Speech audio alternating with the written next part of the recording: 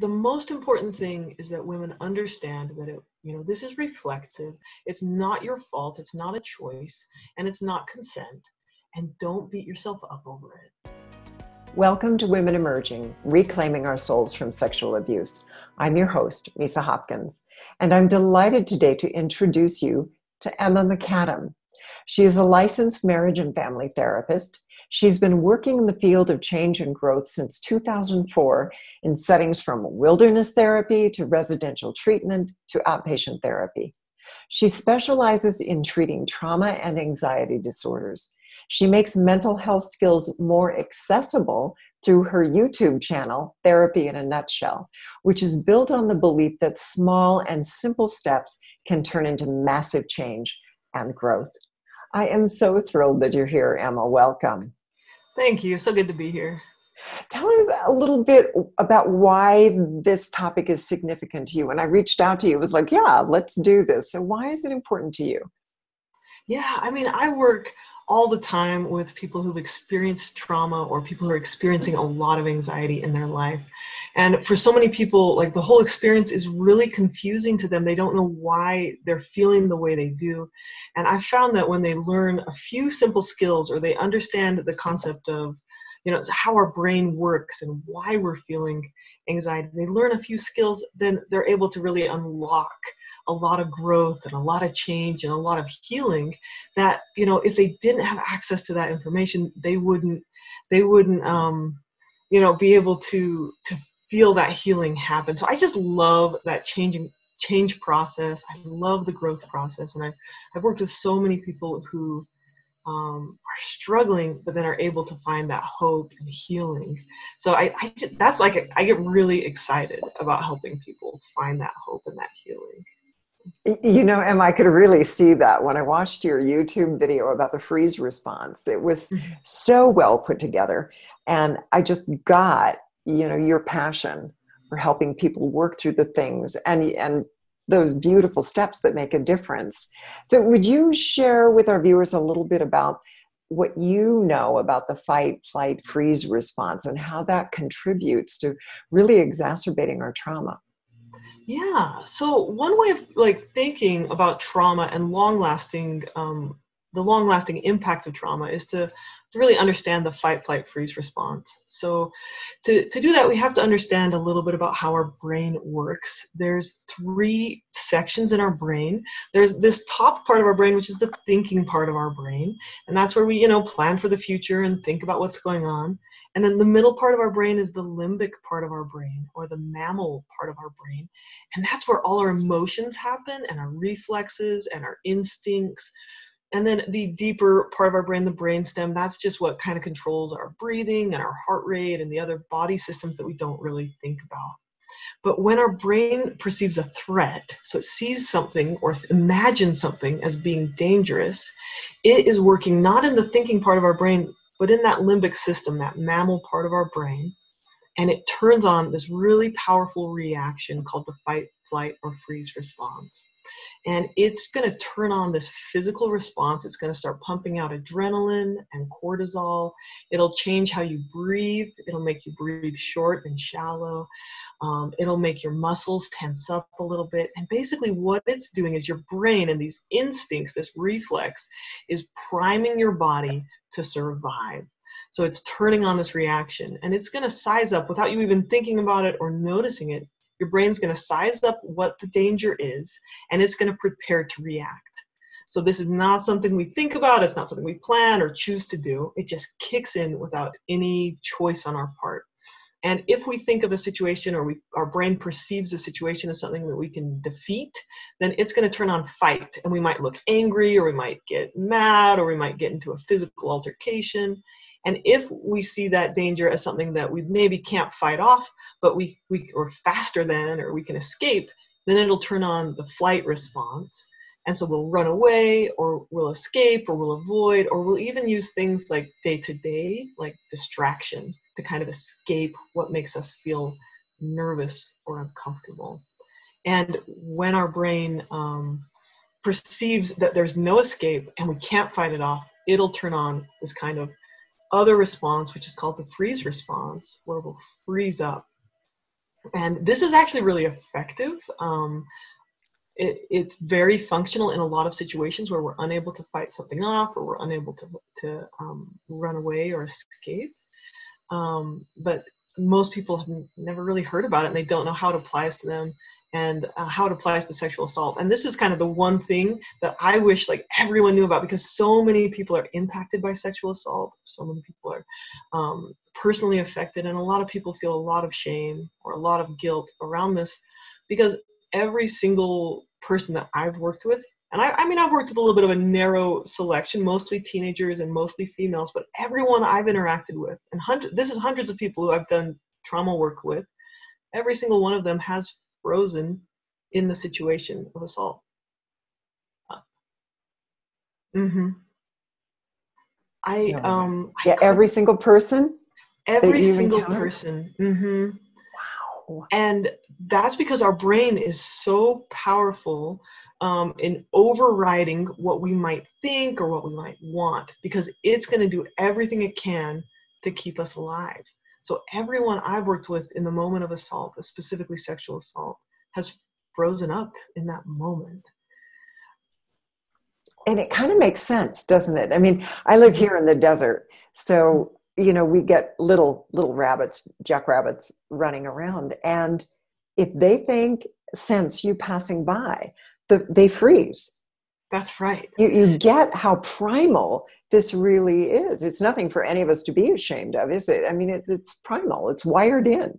That's right. That's right. And so many of us, like, I mean, we're strong women. We're like educated and we know things and we, and men too, right? This isn't just something that women do, but um, we're, we're smart, we're educated, we're powerful in our own lives. But when we perceive a threat, our brain turns that on and it really does kick back to this ancient evolutionary response in our brain. And you'll see it very clearly in animals. Yeah. So rabbits, right?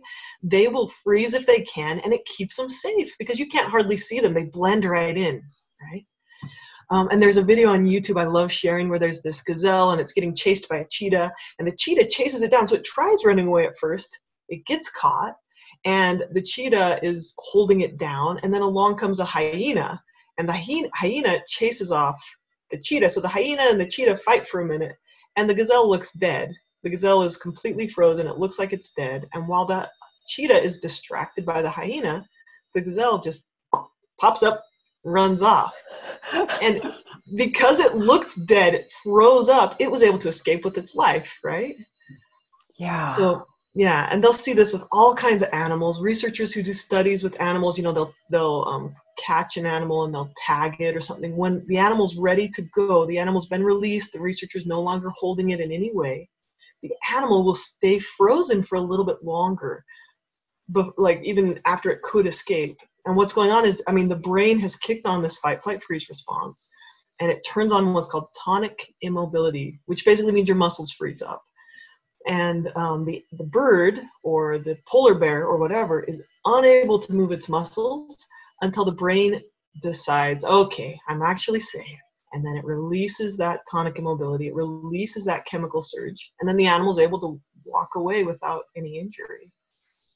So that's why in moments of trauma, that experience occurs where you really do feel like you can't move. You that's might right. even a, want to, but you can't. Mm-hmm. It's a physical reaction called tonic immobility. You feel like you want to move, or you want to scream, or you want to fight, and your muscles won't respond because the thinking part of your brain isn't in control anymore. It's this deeper limbic part of your brain, and it's saying, I'm gonna the brain is taking over and saying, I'm gonna save your life by making sure you can't move. You can't do anything that's gonna hurt yourself. At this point, I'm in charge. That's right. Yeah. Yeah. This is really significant in terms of what we know about the second rape, right? The questions like, why didn't you fight? Why didn't you mm-hmm. scream? Why didn't you? You're really giving us an answer to that. There is a physiological reason that we're right. responding the way that we are. It doesn't mean that something's wrong with us or we should have done something different at all, does it? Absolutely. And that's the message I wish like everyone knew. Men and women, everyone out there because people do. They look at these they look at people who've experienced sexual assault or trauma or other experiences and they're like, "Well, why didn't you? Why did you even allow that to continue maybe even multiple times?" And it's not it's not something we can control at least initially right? Like our brain takes over and it's just like if someone clapped their hands in front of your face really loudly could you stop yourself from blinking? Like that's a reflex that we aren't in control of at least initially. But maybe with a lot of you know ninja training we could develop the ability to override that reflex. But initially no most people can't and especially if it's happening to you and it's unexpected right mm-hmm. i mean i mm-hmm. like that you brought up that ninja training i mean that's what martial artists do right is right. train new reflexes so if somebody grabs them from behind by the arm mm-hmm. right there's an automatic movement that occurs they still right. use their judgment in the middle of the movement but there's an automatic reflex that has been programmed in from years often of running kata every day so that's, right. that's, a pretty dedicated commitment to make a change like that, which can happen. But I mm-hmm. think what you're sharing is so vital that it is instinctual, that it is happening often to you when you're unaware and unprepared right that this is going to happen. Is that fair? Am i understanding correctly? That's right. Yeah. I mean it does. It happens most often when we're caught off guard um, but it also happens so our brain is most likely to kick on that instinct when we are in a situation of less power. So, if, for example, the classic case of Harvey Weinstein and his um, the people he abused, he had the power over their career or over their job, and so when someone else has a position of power or authority, we're more likely to kick on that. Our brain is more likely to kick on that freeze response. Um, or if we're smaller or physically less strong than the person assaulting us. So you'll see that a lot more frequently with you know with women or people who are in a position of less power. Because the brain just sizes it up and says well faster than we can think. The brain reflexively says oh i'm going to save your life by making you freeze. Right and that is survival. Mm-hmm. even with harvey that's survival because that's work that's employment that's taking care of my children my family myself he's in That's control right. of that. He's influencing that. So it's it, it makes sense that your survival instincts kick in and you respond. Absolutely. So just like our ancestors had to survive by fighting off tigers we have to survive by keeping our careers right? That's how we pay for our house and we pay for our food. And our brain our deep brain our instinctual evolutionary brain knows that well enough to know that is going to kick in that response in the in the face of assault. And i think so many people feel guilt or shame or they feel like it's their their fault when they you know just freezing is not consent. Not fighting back is not consent. And it's not because you know someone was being weak. It's because your brain thought you were in a life threatening situation it completely makes sense. Completely. Are there people then more prone to that freeze response? I mean, we talked about the three: the fight, the flight, and and the um, freeze response. Are there people more prone to freeze response? Is there a way to? Kind of yeah. So that? in general, um, like I said, people who are in a position of less power um, or women or people who are smaller. Those are the people mm. who generally your brain is going to kick on that freeze response. Um, the other situation where that might be more likely to happen is someone who has frozen in the past. So our brain, if, if someone froze in the past in a situation, maybe when they were a child and they were smaller, right, and they didn't have power, so when an assault or something dangerous happened and they froze up, their brain learned, hey, I survived that and I froze, freezing works. So let's do that again. So then your brain will turn on that response much more quickly in you know later on. And, and we can retrain our brains. I really believe in neuroplasticity. We can retrain our brains as adults to respond differently than we did as children. But that doesn't mean it's not our first instinct or our first reaction if you know our brain has learned to do that in the past. Yeah. Oh, thank you for that piece because that's a significant one if you've had multiple abuses to understand why you're responding the way that you're responding. Yep, yep. Your brain your brain is very keen on keeping you alive. And if you survived the last time, your brain's like, "Oh, let's do that again." smart, smart brain, very smart brain. And that's one thing we can do, right? Instead of shaming ourselves, we can say, "Thank you, brain, for trying to keep me alive. I appreciate your efforts. I'd like to learn new ways to keep myself alive in the future. Maybe we can retrain together, brain. Like let's go do some some um, you know brain retraining to respond differently in situations or to regain our sense of power. But thank you, brain, for keeping me alive at that time. That's right. And to remember the greater outcome is that mm-hmm. you lived through it. And That's so right. something was happening that got you there. And part of that was inside of you. I love that perspective. So yeah. powerful. Now, you've had an experience with freeze response yourself, haven't you? Would you share that story? Yeah, sure. Yeah. So when I was 16, my family moved actually to the West Bank. Um, my dad is a professor. He was doing a sabbatical year. He was helping out with uh, the Arab American universities, so on the West Bank of Israel, and um, well, the occupied territories. And um, I was just a little girl. I was 16. I was walking near my apartment, going to get into my apartment, and some man came behind me and swiped his hand up my butt. And I did not know what to do, but my my instinctual reaction was to turn to him and say, "Oh, I'm sorry." That was my reaction. I apologized like as if my butt had like forced his hand there or something like that that was my my reaction and in hindsight i was like what's the matter with me like why did i do that right but my brain faster than i could even think it sized up that situation and it said wow you don't know the language you don't know where you are you're in a scary situation this guy's bigger than you. Um, and it's like before i could think my brain's like here's what i'll do i'll freeze and appease. I'll try and make him feel like you're not a threat leave you alone.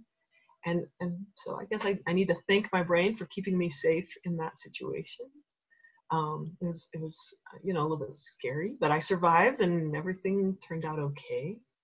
Um, and later when i was 22 i went back to israel and i was um, walking down the street with a couple of friends. And in the meantime i'd done all this different life training. I'd done a lot of um, work on myself. I'd grown up. I'd gotten older. I'd spent time in two other foreign countries between that. And I'd taken um, some self-defense classes, and I took a wilderness first responder class where I trained myself to respond to situations with like a protocol, right? So my our, my professor was amazing. He would come in there with he would have someone come running into our classroom with their arm on fire, and we would have to be like, you know, like react and like think clearly and, and put the thing out. And of course, the first time someone came running into our classroom, what did we do? We froze, right? But then he trained us the protocol. You put something on it, right? So then a couple weeks later, someone comes running into the classroom with their arm on fire, and we jump up and we put a blanket on it or a jacket on it or whatever, right? Uh, it was like rubbing alcohol or something. It was something that wasn't harmful. Anyway, so in between when I was 16 in the West Bank and this guy assaults me, and I'm like, I'm sorry, my butt was in your way of your hand. By the time I was 22, I had gone through all this different training. Um, I had helped as a facilitator um, for like a rape aggression defense course and things like that. I'd practiced screaming no and I'd practiced, you know, doing these things. When I'm 22, I'm back in Israel and I'm walking down the street with some friends and these young kids come up and get in our face. Not young, I mean, they're probably 20, they're probably my age. Young men, a couple of them come up and get in the face of me and my friends and they're acting kind of aggressive. And one of them was right in the face of my friend and instead of freezing up at that point, my brain assessed the situation very quickly. And I knew, um, and, and I reacted by, by hitting the guy in the shoulder and knocked him over. And he um, kind of rolled over, looked up, was kind of embarrassed, and kind of scampered off. Um, and, and in that situation, my brain assessed my skills and my ability to react in a way that said, oh, you know what? You can handle this in a way that'll keep you safe in a different way and um, i think that the training that i had prepared me to respond in a different way in that situation. Now again like there's no shame in freezing. Like if that guy had been stronger or if my brain had assessed things differently. I mean this was not me thinking. This was just pure reaction. But if my brain had assessed him as being more dangerous or if he'd had a gun or if they were bigger or more numerous my brain probably still would have said the best thing for you to do is to freeze up appease them just be nice just quietly scamper off, do whatever, right? To keep me mm-hmm. safe. But because I because I, I tell this story because I also believe that if we want to respond differently, perhaps to something like sexual harassment in the workplace, we can retrain ourselves to not freeze up and to be more assertive and to keep ourselves safe still um, in, a, in an effective way. But again, if our brain is going to take over and, and keep us safe, I'm going to thank my brain for that. Yeah, I like that. That sense of respecting what your brain is doing to keep you alive, to respect that, and then consider whether you want to add some training to that so you have maybe a bigger scope of response or a broader range of response that you might be able to employ in different I, yeah i love mm-hmm. I love how you describe that just a broader range of response. Let your brain have more options to choose from when it decides quicker than you can think how you're going to respond to situations. Yeah. Beautiful. Emma what have we not covered today that you really want to make sure that our women know about the freeze response or any of those three fear responses I think the most important thing is that women understand that it, you know, this is reflective and men too, but this conference is for women. That this is reflective. It's reflexive. It's not your fault. It's not a choice, and it's not consent. And don't beat yourself up over it. Um, the other thing I would want people to know is that sometimes these physical reactions to trauma they can get trapped in our body if we don't resolve them. So years later, we'll feel those similar effects. We might feel frozen, or we might feel that fight or flight reaction, that physical jolt of adrenaline when we're scared or when our brain remembers um, these situations. When we remember something scary, our brain perceives that as an immediate threat. And so our body might go through that fight, flight, freeze reaction just by remembering something that was bad that happened to us and then our body will have that adrenaline response. And our body has a natural way to work through that fight flight freeze response. So it looks like burning off that adrenaline by shaking by moving by crying by being jittery um, by feeling the need to um, do something physical. And if we honor our bodies it has a natural way to resolve that response and to create that movement again. Um, so I, I, would say it to people like, you know, work with your body as you try to heal because I think our body has a deep wisdom as to how to heal these kind of trapped in fight, flight, or freeze responses. And, you know, they can become habitual, uh, but we can also learn, if, if we learned to do it over and over again, we can learn to do something different and our brain can rewire and we can respond differently if, um, you know, to different types of, of thoughts or emotions. And, you know, we do have an inherent ability to heal.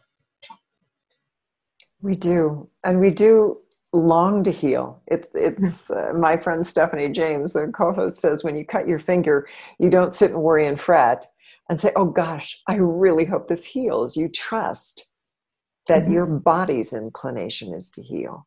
Yeah.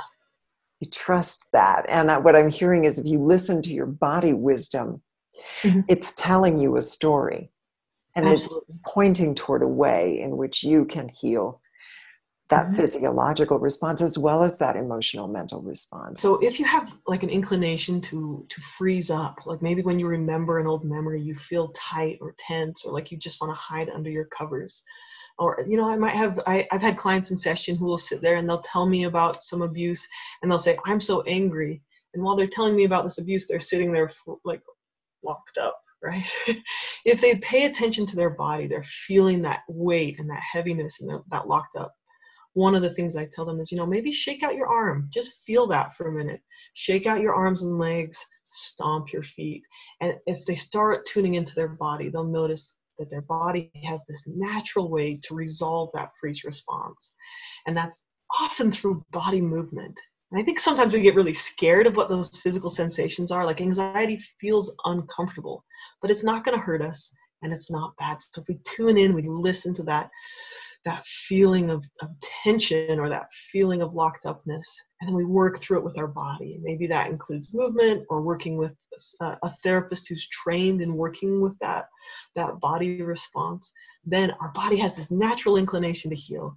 It can work through all the steps of that fight flight freeze response because one of the last steps is resolution and our body knows how to get there if we listen to it. Then we can work it out of our system. And you know, if we learned a habitual response like running away or avoiding, or if we learned a habitual response to fear like freezing, we can also learn a new habit and a new response, which is going through that process and healing and coming out the other end feeling peaceful. So I that's the thing I would want people to know is that if you feel stuck in this freeze or you feel stuck in anxiety, you can retrain your brain and your body to respond differently and move through it to a point of peace and, and healing. That's so powerful. If you know or you sense that you're being re-triggered over and over again, because that's the sense of helplessness, and we get into despondency and despair. But if you know, you recognize the trigger and you honor your body, you can do mm-hmm. something about it. You can walk it through, walk yourself through to resolution. That's right. Yeah. Experience healing. awesome. I love that. You have a gift for everyone. Would you like to talk about the gift? Yeah, so I've created a series of videos to help people um, go through some of this physical grounding. And when I say grounding, I mean kind of returning to center, calming down your nervous system. And this really is the antidote to the fight, flight, freeze response. We, we can't fight off the fight, flight, freeze response using our brain or by thinking. We have to do it kind of through our body, and that's how we communicate with our with our um, our deeper brain. So I've created a series of videos that walk people through this um, fight, flight, freeze response, and to um, to get to a more grounded space. So uh, I'm I'm sharing that with all of your viewers or listeners. I love it. I'm saying this a lot. I love it. I love what you're offering. I do. Thank you for that. That's a very generous gift, by the way. This is not a 10 minute kind of video. This is an in depth series, isn't it? That's taking people through steps that they can follow for their healing. That's right. It's a series of videos. It's about 20 videos. It's a little bit over, um, I think, an hour and a half if you'd like to watch all of them. But you could watch each one one at a time. They're a couple minutes each. And by the end of it, um, you know, you'll have 20 new skills to work through that fight, flight, freeze response by listening to your body. Very generous, Emma. Very generous. And of course, we'll have the link posted below the video. And I encourage you to go find her on YouTube. Emma McAdam offers some really great practical advice to help you move through trauma. And I thank you so much, Emma, for your time and your wisdom today. Thank you so much. I really appreciated talking with you. Beautiful. Well, we love you and love the work that you're doing. And we're loving everybody who's here and viewing. I encourage you, go check out Emma's work. We honor you for your journey, your courage, your willingness to heal. With every woman that heals, we are changing the playing field. We are changing consciousness on this planet. So we honor you, and I look forward to seeing you in the next video.